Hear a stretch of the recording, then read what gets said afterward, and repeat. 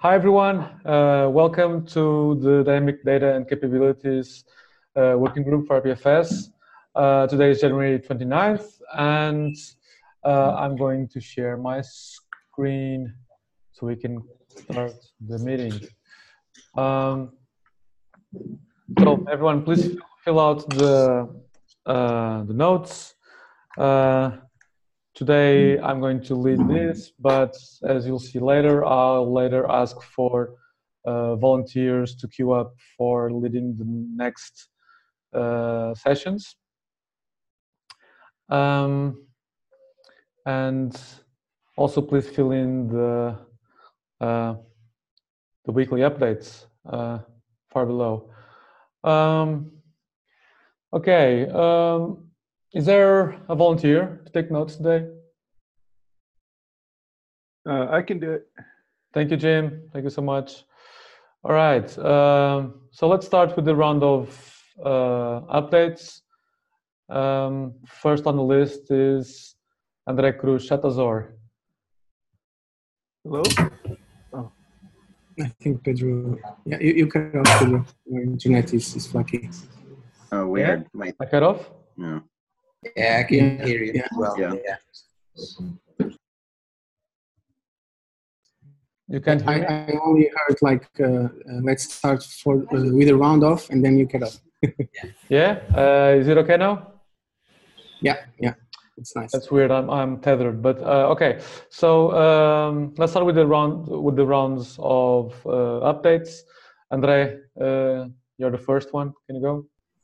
Yeah, all right. So, in terms of what I've concluded, uh, I finished the work, work plan for the IDM.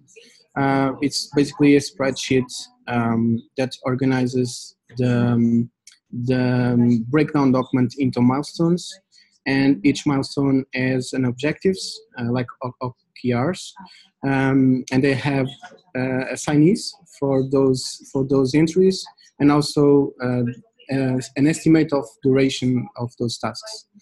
Um, that's basi- basically it. You, you can check it. Uh, also, along the way, I've refactored the IDM breakdown document uh, because the organization that it has, that it has now, is better. Uh, I think it's it's much better. Um, you can also check uh, for the new structure there. And I've, I've also coordinated two brainstorm sessions on identity top topics um, that people participated during the last the last week. Uh, in progress, I'm working on two papers at the moment. Uh, one uh, about the concept of IDM, which is you know a summary, uh, basically a summary of the RFC that we made, uh, Pedro and I and, and João, so that we can present a two-page summary of the RFC, so that we can present on um, the reboot web of trust uh, next month. Um, and also, I will be working on another paper, which is the IDM spec, which um, is a document that has some uh, interfaces, well-defined interfaces of the, the IDM core and the, the IDM client, um, and define some other concepts in terms of how can the client communicate with, with IDM core, because there are a lot of scenarios going on. Um, and that's basically it. Uh, the first paper is still empty because it will be the easiest one, just a port of the RFC and, and make it make it smaller. The the spec uh, paper already has a few stuff in there, but it's very drafty.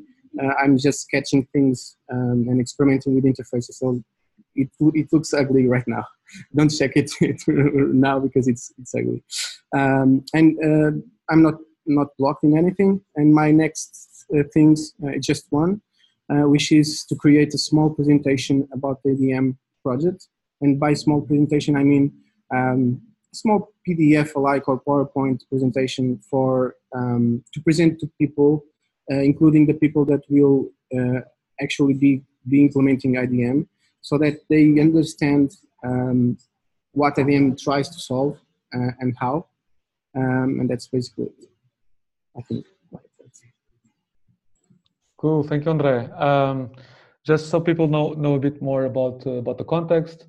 So uh, very early next March, uh, there's going to be the eighth edition of Rebooting Web of Trust um, conference. There's a call for well, to participate, you, you have to propose a set of papers that people can then later choose to, to elaborate during the the the gathering itself. It's not a conference; it's more of a I don't know, what symposium or something. Um, and and then and then that's what we're, we're uh, Andre is is doing now, so that we can apply before the end of the month. So yeah, also if anyone is is uh, willing to to join us, uh, there is a, an event uh, entry on Protocol Labs uh, event management repo. I think it's uh, private, not sure, but if if you want, if you're planning on attending or if you want to attend, please you can also get get in touch with with, with some of us. Any questions for Andre on this? No. All right, so next in line is Adin. Congratulations, Adin. Uh, yeah, so my, my update is gonna sound a lot like it was about two weeks ago, uh, which is I'm gonna um, catch up on some emails and figure out all of the things and meetings that I have missed in the last week. I am through most of the, I'm through some of the videos, but there are more to be watched. Um,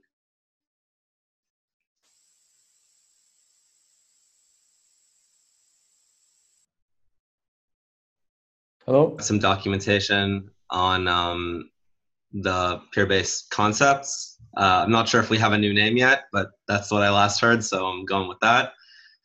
And uh, if I have time, I'm going to try and bug. We'll see whether this happens this week or next week. Try and bug some of the libp2p folks over how to make sure that we can. Uh, I can take the append-only DAG stuff that I have and make that work in a over public channels as opposed to just channels where you know who you're talking to already based on their peer IDs. Um, and I have an agenda item for the end to sort of clarify from the uh, the the DID or the IPID uh, discussion, just being like, "Hey, you guys didn't realize, didn't understand what I posted so much. Ask me some questions. Here's what I was thinking." Um, for the end, though. Yeah, that would be very appreciated. Uh, except that one, any question for Adin? No, okay. So let's talk about the that identity thing at the end. Um, so next, it's me, I guess. Um, last week, I um, concluded uh, a fix to Delta CRDTs, which is to make the RGA CRDT not dependent on causal delivery. Um, so a great insight by by researcher Carlos Baquero, uh, where he gave the idea that we could um, accumulate uh, non-mergeable um, edges for for uh, the RGA, and then try to merge them, and if not, keep them in a, in a stash as part of the state. And so that's what I implemented, and I um, there I did a bunch of tests, very thorough test of, of random permutations on all the messages. Uh, and I haven't been able to break it so far, but uh, help is on that is, is appreciated. Um, oh, that's that's great. Victor is, is telling us that that Ron 2.0 works like like that. That's uh, that's uh, also super super interesting. Uh, that's a, so that's a good sign. that's a good sign, exactly. Uh, so IPFS pub sub room I've updated. So there's a, a, a breaking change on a private, uh, well, not breaking change, but there's a private API change on JS IPFS, which we were relying on, which is the libp2p node uh, accessor, which now is going to be made public because so many people use it. Uh, and well, pub public and, and documented. Um, so we're supporting both, uh, trying to support both versions of that public API. And the first pass was upgrading IPFS PubSub room to, to do that. Next step is going to be, uh, well, I'm already started to support that on Peerbase. Um, and also I've, I've, I've had some, some discussions around, uh, well, the libp2p transport uh, reconnect, which was um, started stemmed from discussions around um, uh, WebSocket Star multi support for starting offline and then recovering from being offline, rebinding or trying to to bind to uh, remote servers, uh, remote relay servers, and uh, that turned out to be a bigger P2P issue, well, issue or uh, endeavor, um, hopefully to support better support uh, offline uh, reconnect uh, use cases. in line with that, I missed last week's um, local and off offline working group meetup uh, meeting uh, you should attend. Uh, I missed last one, I, unfortunately.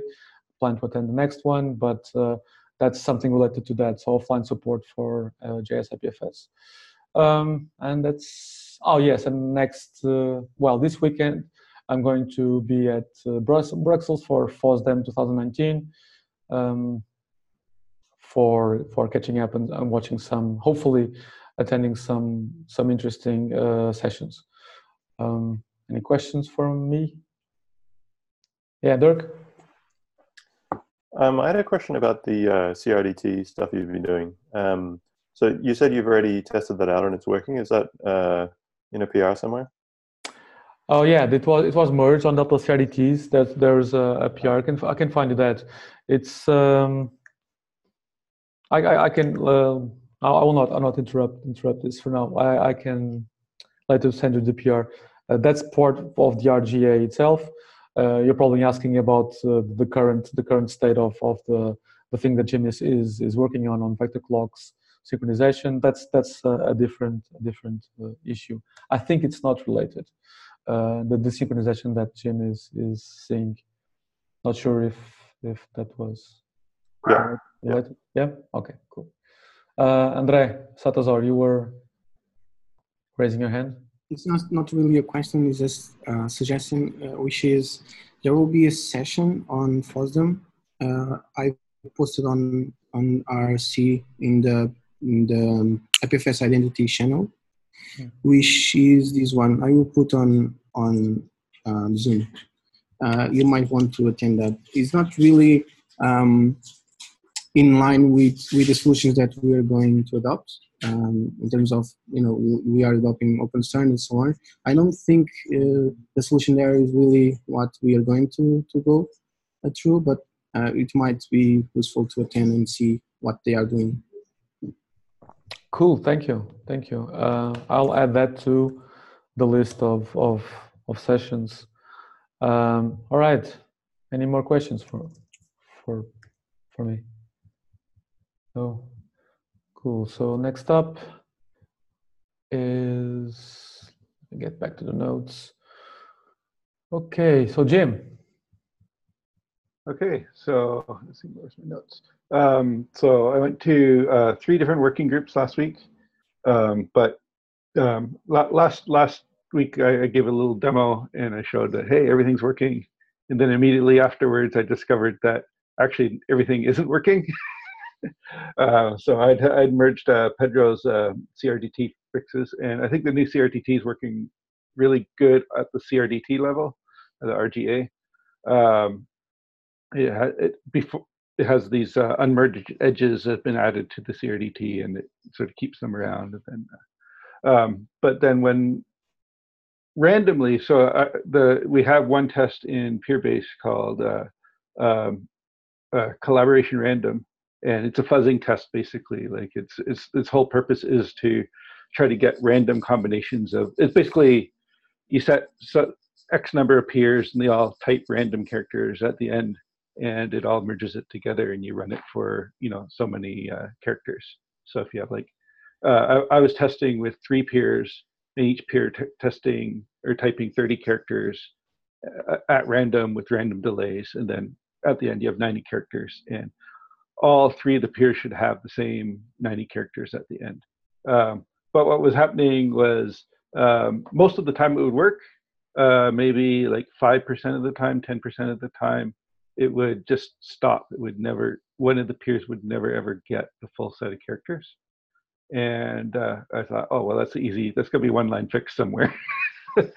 so a week later, uh, that's what they spent most of the week on. So um, there's some issues. Um, I'm going to just take a, minute just to show what I was doing uh, visually because uh, it's going to be impossible to explain. But basically, the idea idea is trace everything, every single thing that's happening in each of the peers and log it all. So it's more than just logging; it's tracing because you can reconstruct what actually happened from that data. So that's what I did this week. So uh, if I can get past this next week, I want to do some uh, little offline type apps. Uh, that's me. Cool, thank you, Jim. Um, so I, I added a I had a comment on on on that issue, uh, which I've been I've been sketching out, uh, and I think I know I I well I think I know, but famous last words, uh, the solution. Um, but yeah, let's let's talk let's talk later. I'll, I'd love to see the what what you have for uh, tracing. Uh, oh, you had you had a demo, right? You have a yeah, Jim. Yeah, I just put it. Nice, thank you. Uh, any question for Jim so far? All right, so let's uh, proceed. Uh, André Souza. So hi guys. So last week we had the meeting about the discuss identity profile. It was really technical, but I was present. Um, after the meeting, Salazar told me to add the notes on, on GitHub. I hope that every everyone every one of you could see them. Um, so from last week until yesterday, I was working on the homepage and profile page, the concept for for IDM. It has already uh, an issue, a new issue on on the GPR, the sorry, the PM IDM. Uh,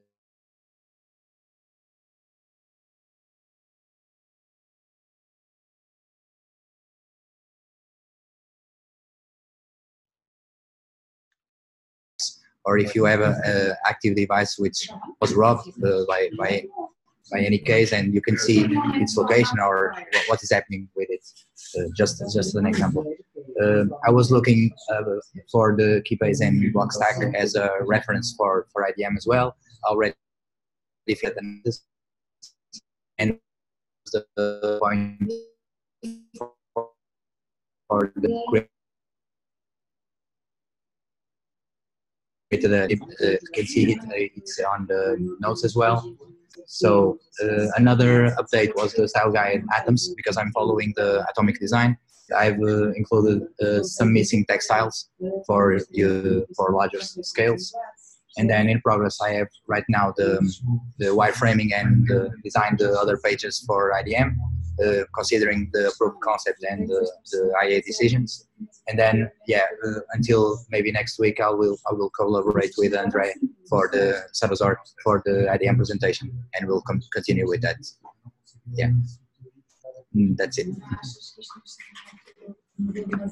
Uh, thank you, Andre. Um, yeah, I, I, took a quick peek to the IDM information architecture scheme. It looks really thorough and complete, but I'll, I'll, I'll advise everyone to take like a, a deeper look to, to that. And, yeah, it's and ask questions and see and see. Yeah, it's really detailed. So any any any question regarding the screens or the journeys or any specific detail, yeah, just uh, let me know on GitHub and we'll upload that. Yeah. Uh, nice. Thank you. Uh, any I question would like to, for Andre? Yeah, I would like to, to add something, which is I, have posted here um, the, one of the images of the IDM concept. Uh, it's here on, on the Zoom chat. If you could, um, if you could share a screen or something, um, it would be nice so that everyone could, could see uh, the look the look and feel of it. Um, anyway, I will actually share my screen really quickly. Let me see if we can. Yeah, okay. Another so, detail which I, am missing to, to point out on, on the agenda was uh, we made a decision about um, lock lock time for the app because we have a, a, lot of information which is encrypted. So if you have any sort of uh, expiration lock that provides you a, a, way to reveal information after entering password, that, that will be helpful regarding the dashboard, for, for example, because since you have the all the details uh, about the multiple IDs exposed in a way. After you typing the password, you can see them. Yeah, you can populate the dashboard or the homepage uh, more easily. can you see my screen, by the way? Yes. Right. So um, bear in mind that the features that you are, you are seeing in the screen is not the purpose of this image. Just for you to, to feel how the, the Y looks will look like and the concept that we are trying to explore. So we're trying to explore this uh, passport-alike or a document-alike uh, feel to the to the application. So if you actually if you actually zoom, you, you you see what I mean by these illustrations, so that people can um, can uh, associate this this type of application to things that they, they are um, uh, used to, to to know basically. Something they- that they- stressful. Yeah something that is stressful um, in terms of features we'll we'll figure figure the, the final layout and, and things like that it's just a concept and if you if you um, if you if possible it will be nice to get some feedback if you if you like this concept or, or, or not that's it Yeah, the, the concept is exposed on, on GitHub. It's just you you can read it there and, and add your comments. Yeah. Okay. And then there's uh, you, you showed it briefly, Andre. There is the the the part of the the information architecture diagram. Uh, what's want me to show it? uh, yes, as long Okay, as I you have, share. already have the, the screen share. Yeah. Um, I, I, can can you see my screen still yes. all right so let me open that so this is a, a diagram that we made like i'm zooming because it's it's quite big. Mhm. so essentially what we have here is um, all all the user journeys and all the, the features inside of, of, of small pages that are outlined here. Um, you might check check it out and give us feedback as well. Um, it's quite complex but i think it outlines well what idm really will have in terms of the mvp and so on Um, uh, so if there's an issue on on GitHub, you may also check it out in the comments as well. Uh, and please be, be aware that this diagram works only for the MVP for now.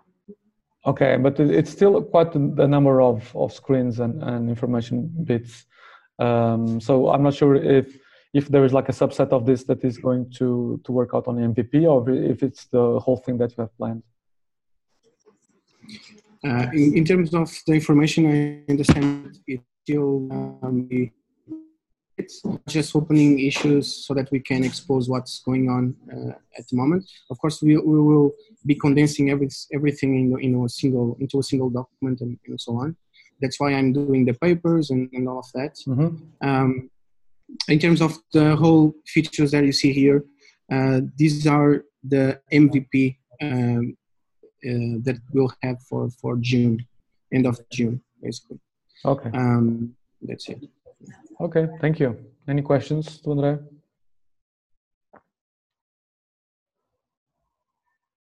Okay. Uh, thank you, Andre. Uh, if you could stop sharing. Um, next up is sorry, back to the list. Um, Pedro.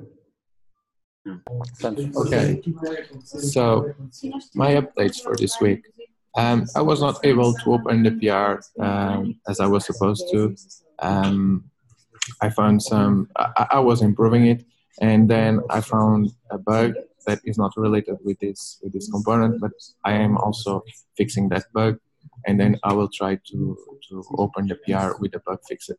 Um, uh, me and Andre Cruz, we also have been chatting with Margot about the privacy policy of Discussify. Um, we already received the draft, and we are now uh, we we have uh, we gave we gave Margot uh, our feedback, and we are waiting for the next iteration. Um, so I did release uh, a new version of JSIPFSIO. It's not related with BBC, but I did it with some, some new languages. Um, and then what I will do next, I will implement the fab uh, scale animation on the app and also the morph animation on the app. And, and I promise you all that next week I will have a demo uh, to show you how things are smooth uh, on on Discussify. And that's it. Cool. Thank you, Pedro. Any question for Pedro? No. All right. So Dirk, I think you're next.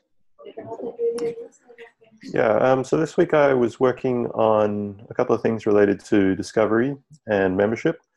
Uh, that is for Peerbase. So uh, when we're establishing membership, um, I, I was trying to reduce the amount of time it takes for peers to discover each other and then to actually uh, form a, a, convergent membership. Uh, so I was kind of looking at the existing membership protocol and made some small changes there that improved um, improved that time. And I've done a little bit of uh, experimentation to demonstrate how much it improved. And then while I was thinking about that, I realized that there's quite a lot of uh, round trips, even just to get to that stage, uh, where we're talking to the discovery server and then we're talking through flood sub. So we have to set up a flood sub connection and then send some messages. Um, and so I came up with a, a concept of how we could build our own kind of sub protocol in order to reduce the number of round trips. That's specifically about discovery and membership. So I wrote a GitHub issue about it. Um, I just put it in the uh, CryptPad chat there if you guys want to take a look at it. And if anyone has any comments, I'd appreciate it. And I implemented that in the last couple of days. So I have it working. It seems like there are some issues still. Um, so by the way, it uses the same protocol that we use for uh, for sending around CRDTs, so the push and pull protocol. And so because there are still some issues around that uh, working completely correctly, I'm seeing some issues in establishing membership as well. So it sort of depends on the work that's ongoing there. Um, yeah, that's about it. Thank you. It's really cool that that uh, you're able to to use the the same protocol for also for membership dissemination. It's really cool and uses CRDT, so it's very very meta. um, thank you. Any question for Dirk? No. All right. So, um, okay. So we're going to. I think it's all. Unless Victor, you want to to give your update. You haven't put your name there. Uh, nothing interesting. Actually, I'm my black box text testing now works, so I'm doing debugging, and I will be doing debugging at least for another week. So that is the status. Okay. Thanks. Yeah. yeah. Thank you, Victor. Um, yeah. Hey. Hello. Me. Can I hear? Uh, I, I, I can hear you now. Yeah. Okay. Okay. Sorry. Yeah. So uh, yeah, I was mostly focused on collaborations work last week, but there's a couple of things that I want to say. Oh, so first of all, I really like the identity manager uh, like visual work. Um, it looks very trustworthy and uh, and but also kind of friendly.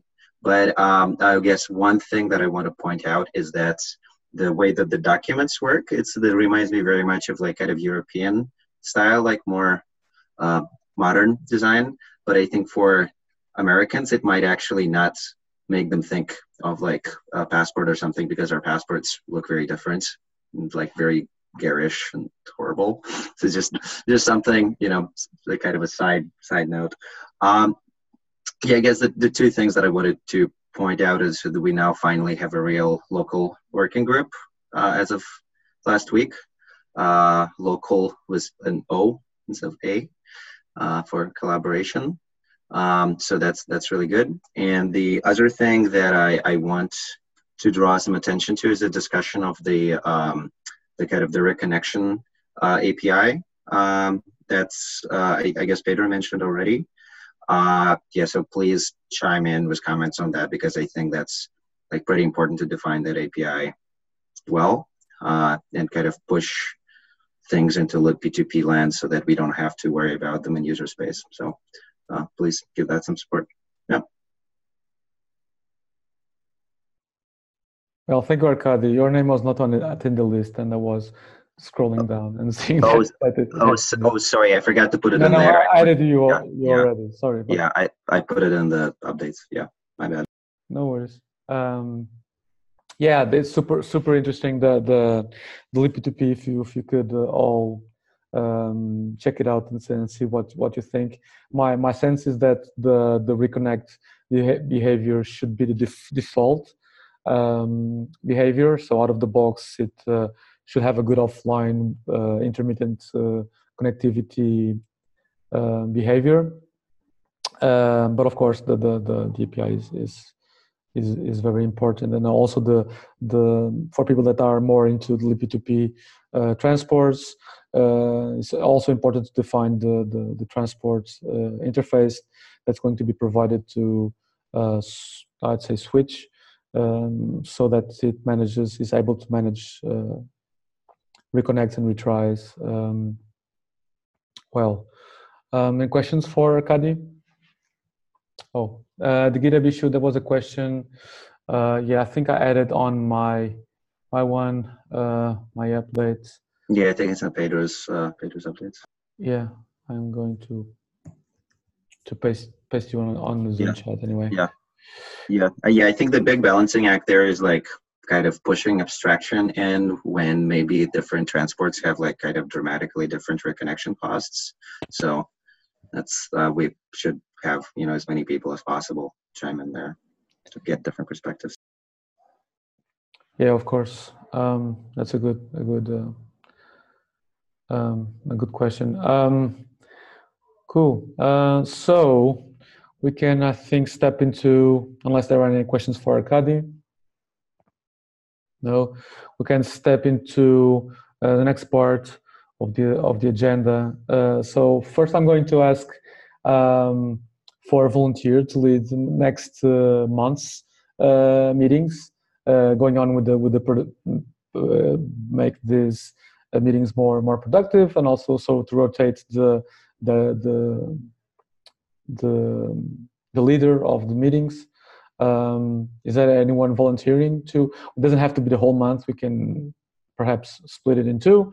Whatever you're comfortable with is anyone has has a particular interest in in helping us with leading the the meetings I can I can lead the initial ones, but I have to be um, out for the the, um, the reboot web of trust ones because I won't be here. yeah, yeah of course yeah I, I can step in as well.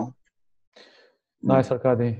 Thank you. Uh, between you, you and Andre, we can. I mean, we can do uh, alternate, for instance, if no one else is interested, or we can alternate between anyone that is interested in volunteering, and then and then we uh, we can still do reevaluate this at by by later if uh, availability is not is not uh, what expected. Um, uh, Dean, Dean also volunteered. Uh, thank you, Dean. Uh, yeah, I'll, I'll uh, let's do. Hello? Oh, okay. I, we we could we, off. Yeah, we I, I'm I'm having a bad internet day. Um, Maybe it's uh, uh, ourselves too. I don't know. uh, or or Zoom is bad, having a, a bad uh, a bad day. Um, sorry about that. I'm I'm tethered using Ethernet uh, to the router directly, um, almost directly. Um, I was saying I was saying that one thing to, to consider is to give authorization to the Zoom account because the Zoom account um, for the DDC is I think you are the owner, and if you, if you wanna if we want to to coordinate the next meetings, we won't be able to use the same Zoom meeting ID. And for instance, I don't really have a Zoom account. For instance, I think uh, it's a paid paid account or something, so uh, I don't really have one. Um, that's an issue. Yeah, I'll ask around IT for Protocol Labs, see how how that uh, can work. I'm sure we we we can we can come up with something. Uh, so Zoom, Zoom account delegation uh, and schedule schedule session. I'll do some some random assignments for for for each one of the sessions, and and if you if you can't do it, we we you please please uh, tell on GitHub on the GitHub respective GitHub issue. I'll ping you. I'll uh, mention you on, on GitHub for that. Um, thank you uh, for the, the volunteers. All right, so now I think we have a, a demo. Uh, Jim is going to show us some tracing reconstruction that he's been doing uh, while uh, debugging uh, a hard to find bug on, on Peerbase. Okay, yeah. So this is, I guess, it's less of a demo. It's just showing you how I was going about it. Um, the problem is, you know, the bug only happened, or I'll share my screen first here. So can everybody see that? So um, so this is this is peer base here. And if I look in the test directory, here's our tests. And the one particular test, which I'm talking about here, is the collaboration random. And basically, it starts up a number of peers. So here I'm running a Node.js, so it'll be three peers and types in 30 characters per peer. And then uh, there's um, down here, there's a, this is the delay between each character that gets typed. Now, when you run the test, it doesn't really look like much. Um, so I, I shortened the test so it's only three peers here, so it's quicker to run. So in this case, it's passing. Um, so, but what, what I was seeing before was that it wasn't, um, it would run and then it would stall out. So I, in order to debug that, I turned up the debugging and I added a bunch of console logs. So it, it's not silent anymore. Oh, is that too? Uh, I get this sometimes.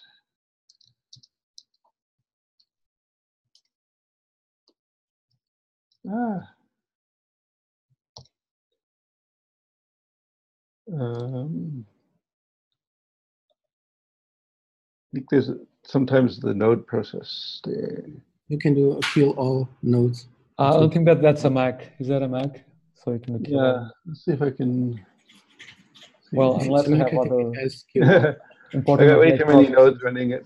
I don't want to kill all nodes. Maybe I will. Maybe I will. Okay. Kill all. There. Okay. Um, this will be more fun. So that that's what it looks like after I had all my tracing stuff. And I'm running a, a few changes back here. See that it passed that time. Um, but it's sort of random, so sometimes it'll fail. I don't know if I'll get it to do it. So, because it's just, um, if you increase the number of peers, you increase the number of characters typed, the chances that you're going to hit a random situation increases. Um, so, of course, it's a demo, so it won't actually do it. it's actually passing all the time. yeah, but but um, that's okay because like you I've got fixed it, Jim. some uh, older older ones I've caught, captured here. So um, Maybe it's because the, the CPU CPU is being um, hand over to, to Zoom and it's it's uh, that's not the node process. it, it could totally be something like that. So it's the randomness matters. So I'm going to show you one which I've got. Should I do it? So actually, that's the dumb. Uh, oh yeah, go. Uh, pay no attention to how I'm organizing my files. It's, it's a mess. So this is what it would actually look like when it failed. What would happen was it would stall here. It wouldn't actually finish. It would never get to the part where it suc- succeeded. Um, but what I was doing was I was tracing back, so I could. So I, I used I added a little bit of color because it was just this this line. This file is now 2,000 lines long. Um, but there's basically three peers, uh, and I collected I some manual notes here. So um, basically, in this case, I have I just took the last three characters of the peer ID just to make it simple. And the nice thing about our tests is they they have the the peer IDs are consistent every single time because we're pre-generating the the, the peer keys. So um, so anyways, uh, in this particular situation, we had three peers. So U, UMQ90 um, got to this state, and, and there were 90 characters. If I scroll back up, uh, UMS, which was a different peer, it also got to 90 characters. If I scroll back up here, uh, SHC, it got only 88 characters. So for some reason, these two little characters went missing. I added some like uh, accents and stuff because I wanted to have 90 different separate symbols. Um, and it's like, why? It's like they'll never ever converge. And then the, the interesting thing was I was looking here is um, I'm also printing out, I wrote a little routine to take our, our vector clocks, which is basically peer ID and an incrementing number. And uh, for each character that's typed, uh, and our vector clocks got complete. So 30, 30 characters there, for each of them, 30 characters there, 30 characters there. So it's like, this one got all the vector clocks. Why is there a little gap here? So, um, but anyway, so basically the technique is I've got dumping lots of stuff. So these big long hex things here are the actual CRDT. I serialized it and printed them out as base um, 64 or base 48. Um, so I could like reconstruct them later. So I, I um, created because just the, the dumps are not interesting to me. I, I created a, a, little JavaScript program, which is actually not that little now, but um, that takes takes the uh, the the dump, the the trace, and then pretty prints it basically. So if I run if I run that one, so I had the debug output, which was just the extra console logging that I added. And then if I run this one, it's now, it was 2,000 characters before, now it's 15,000, or 2,000 lines, now it's 15,000 lines. But, but I've got, um, let's see, be closer.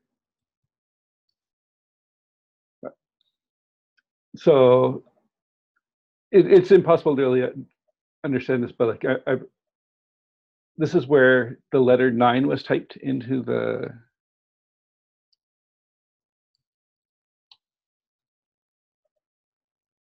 um, so somewhere in here. So one of the peers type nine. So in this case, it was UMS type nine.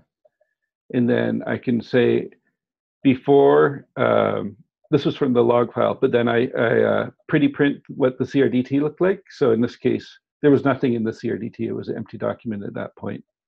And then it creates a delta. So the delta basically is an edge that is from nothing to nine. And uh, I've got like the little internal, this is what the clocks inside the delta actually look like, but then they're serialized so you can unwrap them. Uh, for this kind of debugging, I'm sometimes using dot, and one friend of mine who was working with CRDTs, he was also using dot to make yeah. a graph of it all. Yeah, just, one approach. Yeah, so this is this is just I, I wasn't intending to reuse this. I'm just doing my investigation. So I think what we could do with this type of th- this type of tool is I think we're going to use this over and over and over again. So it might be good to build in like a dedicated tracing functionality and some dedicated um, tooling that we can use to un- un- do visualizations and all sorts of things. Um, yeah. So anyway, so as if you go further down, there's different colors. So there's some like blue and red. So I, I can actually catch the replication protocol and I can see in this particular case, I'm pretty printing out some stuff and I can see it's building a batch. In this case, there's only one delta in the batch. Um, but in this investigation, I was going, I was able to, and then you can sort of see the, the, the CRDTs are growing here and you can see this was the delta. So this is the CRDT before, there's a delta. So you can see like at the end here, with the, the one where we had the problem, 88, um, if I look at the CR, CRDT final dump, there's an unmerged edge. So we can see the E um, had unmerged edge, so E, but it wanted this value to yeah, match it's, up. it's missing the, the, um, the, element from before. So, so it was only missing a single uh, element. So, anyways, uh, I'm not going to go. I, I think it, it, this meeting could go on for an hour if we tried to actually debug this right now. But um, that's that's the basic technique that I'm doing, and I think we could uh, actually um, make it more of a standard part of PeerPad in terms of being able to um, I don't, I don't think you want to do the logging the way I do, but like send the log off to like a side channel where it could be like, say, like archive to disk or something, and then have some tools that could bring that in and do these reconstructions, and then you could bring them into visualizations or tools that can uh, um, reconstruct um, not just one peer, but like multiple peers. Uh, the, each each peer they could be running on different machines. You can capture a separate file in all the different machines, bring them all together, and do sort of like forensic reconstructions to figure out when things go go strange. And uh, this is I I was looking at the CRDT things now, but I think the CRDT is working. Uh, the issues with our uh, replication protocol. That's very interesting. Um, thank you, Jim. The, I think the um, if you could uh, think of, of extracting some some very simple command line tools like like you did, uh, coupled with uh, some capabilities of of uh, logging that mm-hmm. we can add some environment variable that we can activate for to enable logging, like like the current debug um, usage that we have in uh, mm-hmm. in Peerbase.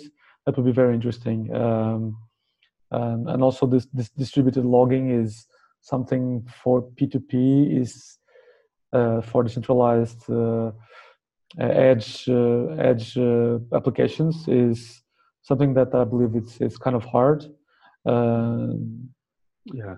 to do but uh, every step that we can that we can get into that that will make this easier to i mean I'm, I'm perhaps in a lab environment or even in a production environment. For now a lab environment would be would be very helpful because we haven't had that that story is not not great.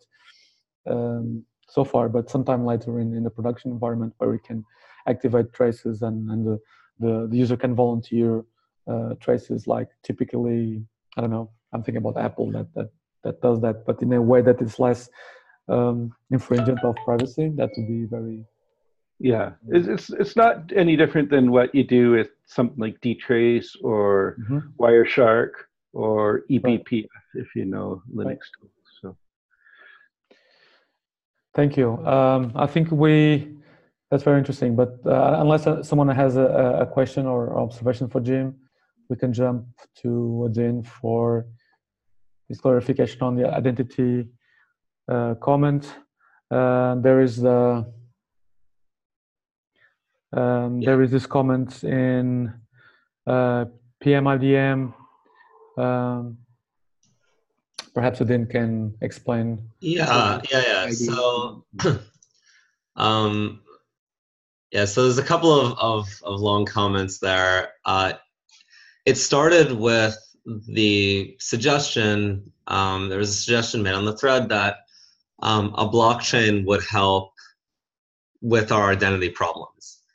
Um, and to, to help, I sort of broke up the identity problems into two chunks.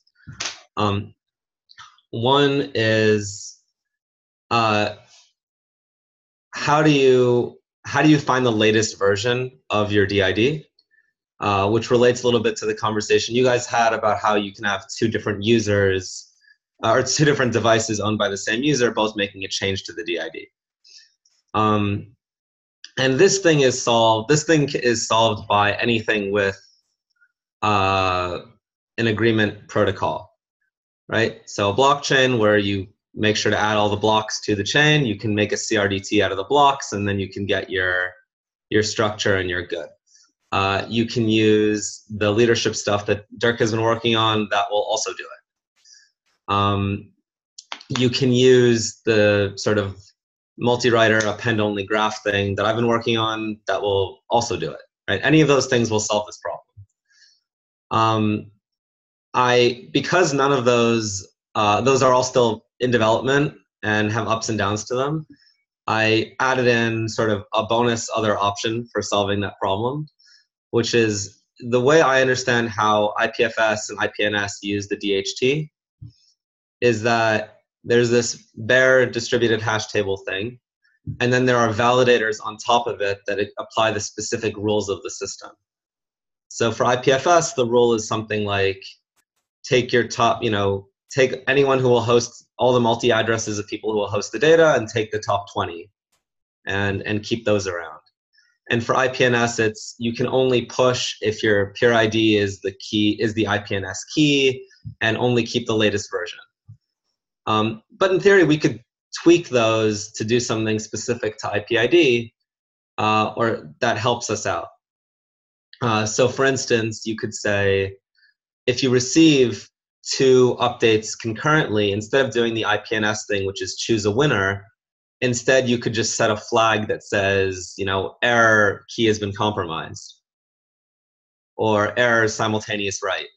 And then you would sort of fail over into stage two of figuring out what to do next now that the bad thing has happened. Um, you also, you know, you can't really keep both of the changes around uh, in the arbitrary case. Um, uh, in Glasgow, I, I, spoke with, with Stephen and, and, Pedro about this. How if you need to keep all of the simultaneous conflicts, then the amount of data that you're asking this uh, very kind DHT node that's storing data for free for you to have could balloon. Um, but it's possible that for the IPID case, we can make an exception because you could say if you're an IPID hosting DHT node, then you can actually do the merging yourself. You can pull the down the documents, do the merge, uh, and and do it like that. I, I, can clarify that more if if there are questions. Um, that was sort of the the suggestion I had as as an alternative to all these consensus things that we're still working on. All right, so then the next the next layer of the next question, which you guys went through, was uh, what happens when you want to revoke a key? Uh, so solution one was uh, basically don't lose your key. Um, have a single key, use Shamir secret sharing to move it around. Don't keep it thing, just just please don't lose your key. Okay. Um, solution two was we'll give you a key you can use, and then please don't lose the other key. Um, it's basically similar to the first one, uh, except that that the second one you can lose it. Like you, you can you can get compromised because you can use the first key yeah. to recover your identity. Yeah. Exactly. Exactly. So you use the first key to do things like adding, which is stuff you're going to do normally, and then for revocation you use key B, um, and you can do that. Cool. Um, the other option I I wrote in the note was basically the same as I had. Those two were you know also there and also part of this, but there's the possibility for another extension, um, or two extensions. One is for the thing that has the two layered approach. Uh, it sounded in, in the video like you guys moved away from that because the fear was that you'd have to do two IPNS requests, and those can take a long time to resolve and uh, it was also more complementary. We uh, implement a second version of IPID, which uses the second layer um, later on uh, once we have the MVP ready. Okay. Yeah. So I guess I just wanted to clarify that you don't actually need two IPNS requests um, because if you had something, if you had a way of like flagging, uh, you know, or solving that problem one that, that first problem of the multi-writer thing or having a flag um, you could just wait until uh, the the layer two key the non-primary key you could wait until that key has been compromised and then go look at the other address instead of looking at the primary address and forwarding to the secondary you could look at the secondary wait for a conflict and then go back to the primary so that means that you actually only need one IPNS request until a key has been compromised. So that, that helps you out there. Um, the, the other thing is secret sharing is cool, but if the problem is that you actually do end up reconstructing a key, um, and that key could get compromised.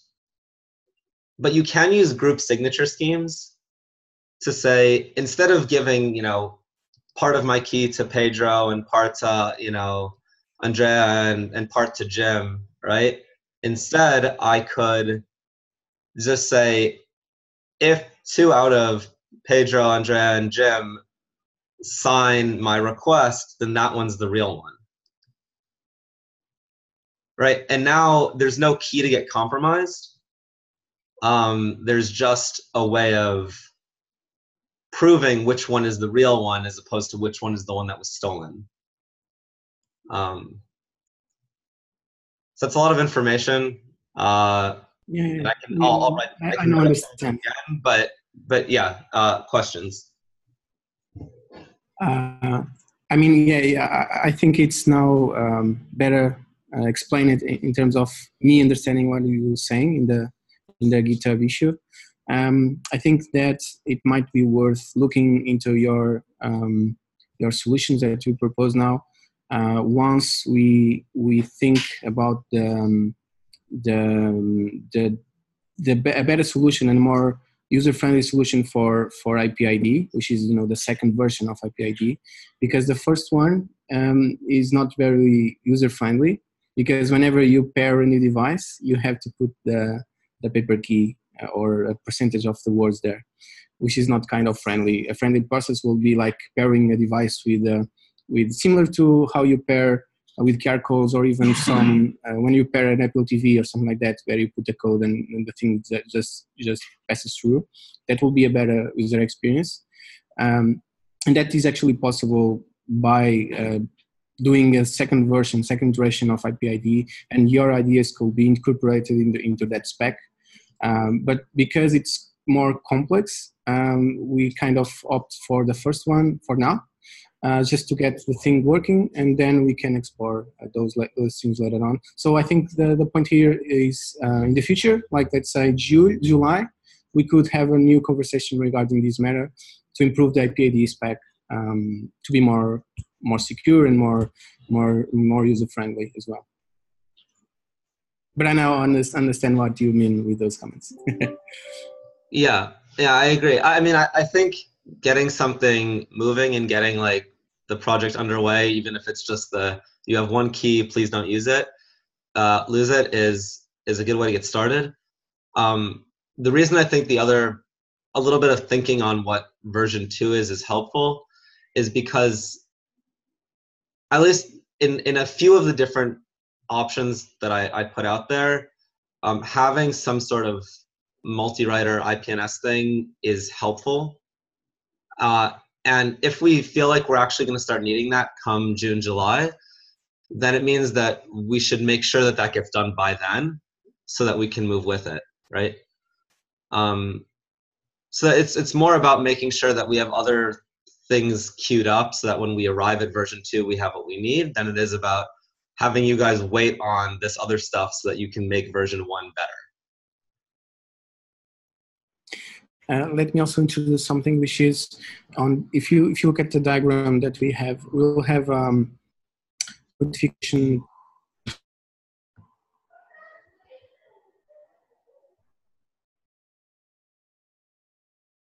One thing is the paper key like like because the the IPID version one uh, basically you can't lose that key. We'll make sure that you back up that key and and once done the, the key will be deleted from from the, the IDM running on device. Um, and the second the, the second thing is that once we upgrade to IPID version 2 with a better better spec and so on, we can also issue a notification there saying, hey, you should upgrade your IPID to version 2, and, and the user will follow through the process of um, uh, migrating the, the, from IPID version 1 to version 2, basically. So uh, we can we can leverage that later on.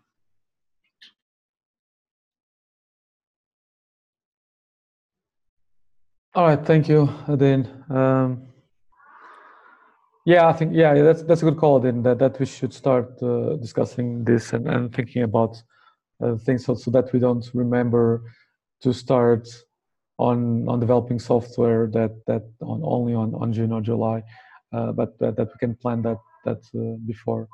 Uh, should we need multi-writer IPN, IPNS and, and all the, the, the good the good things. Um, cool. Any anyway, by the way, we, yeah.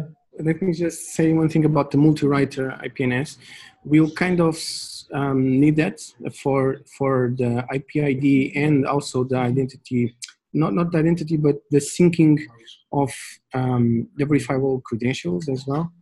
So um, in case of the IP ID, what happens is that you might be having two devices at um, like concurrently, and this means that two entries on the, the public key array will be concurrent, like those new uh, addition additions. So we must solve that as well. Um, so the way we are trying to do that is to solve by having a, a CRDT layer on top. Mm-hmm. Um, and that will eventually converge into into the the same array. Uh, we still didn't actually spec that out. I'm I'm doing that um, as part of the the spec paper that I'm doing, but there, this could be solved by by by different approaches. As you said, you can you can do like a DAG a DAG tree, and just keep the heads and and we store actually the heads on the on IPNS on the IPNS record.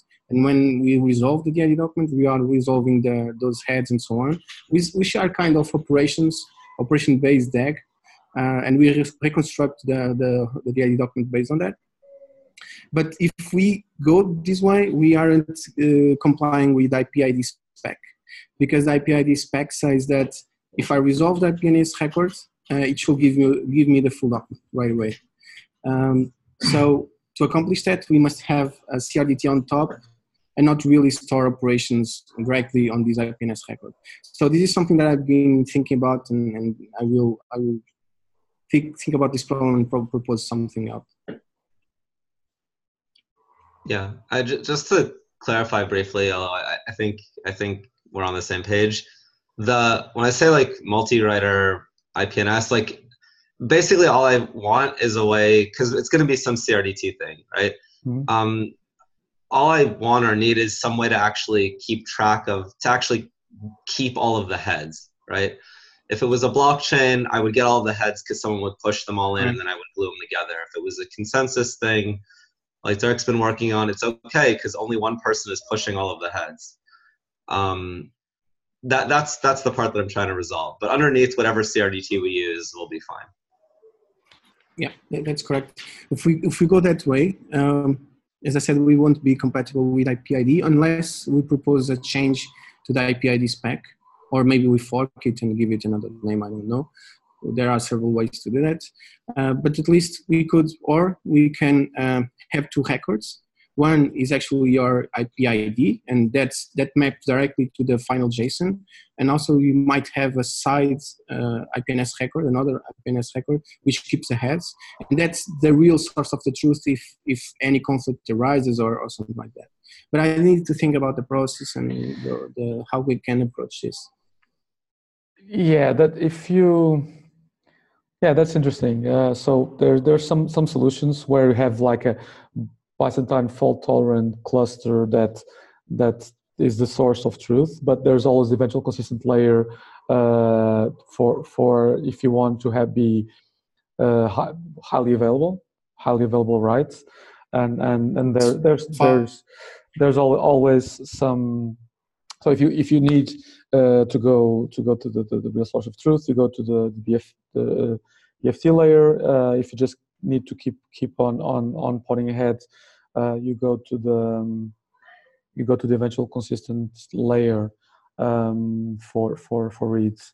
Um, um, yeah, there, there- there's a there, actually I can I can I can I can I can point you to to uh, oh yeah the the uh, presentation we had like last uh, in in Lisbon on the IPFS Hack Week by I'll, I don't remember the name exactly, but but I'll, I'll point you to the to the video, uh, which is It's a kind of- possible solution for, for the problem we are we are having, like Yeah, having the uh, somehow related. Yeah, interesting. Um, It is. It is. okay. um, I like I like the idea of, of having the IPNS record, um, which is your IPID, basically resolving to the JSON because it's very easy. And and if we change the spec, we won't be compatible with the website, which is the ID resolver. Universal DID resolver, Mhm. which basically is a site resolve any DID.